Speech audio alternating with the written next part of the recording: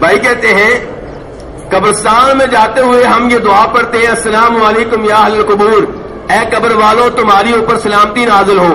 क्या कब्र वाले इसका जवाब देते हैं? ये एजाज नबी सलाम को हासिल है कि आप पे सलाम पढ़ा जाए, फरिश्ते पहुंचाते हैं। बहुत बड़ा एजाज है कौन पहुंचाते हैं। पूरी दुनिया में फरिश्ते बिखरे हुए हैं, फैले हुए हैं। सलाम फ़ौरन आप तक पहुंचाते हैं, कितना बड़ा एजाज है। और ये एजाज भी आपको हासिल है। अबू दो शरीफ की रिवायत है कि सलाम पहुँचता है तो आप सलाम का जवाब देते हैं।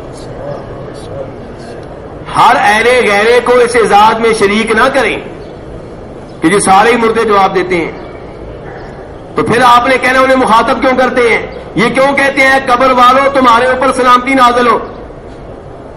मेरे भाई, ये हमारी तरफ़ से उनके लिए दुआ है। और दुआ सुनने वाला, कबूल करने वाला कौन है? अल्लाह वो सलामती नाजल करेगा।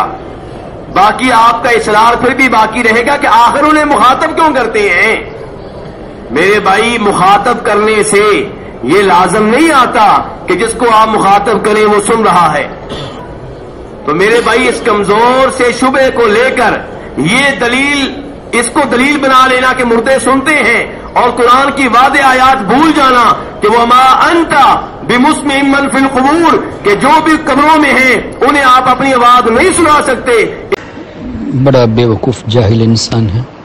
नबी पाक सल्लल्लाहु अलैहि वसल्लम ने ख़ुद ही फरमाया मामिन रजुलिन यमुर्र बेकबरी अखील मुस्लिम जो शख्स अपने मुसलमान भाई की कब्र पर जाता है और जब सलाम करता है तो नबी पाक सल्लल्लाहु अलैहि वसल्लम ने फरमाया कि वो मुर्दा इसके सलाम का जवाब देता है।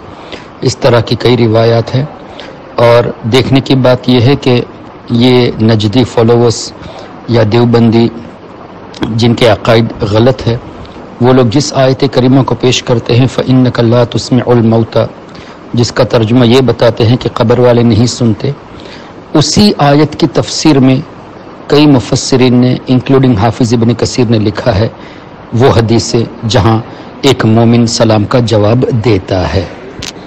यानी उसी आयत के तहत, जो आयत ये पेश करते मुर्दा नहीं सुनता, उसी आयत के तहत वो हदीस हैं कि मुसलमान भाई की कब्र पर जब जाते हैं तो वो सलाम का जवाब देता है। और ये भी है कि जितनी देर हम कब्र के पास बैठे रहते हैं, वो कब्र वाला सुकून भी पाता है। तो इसको हदीस का इल्म नहीं, हदीस पढ़े नहीं और बिला वजह जाहिलाना अपनी तहकीकात पेश करते हैं। अगर आपने अभी तक हमारा चैनल सब्सक्राइब नहीं किया तो हमारे चैनल को सब्सक्राइब कर लें।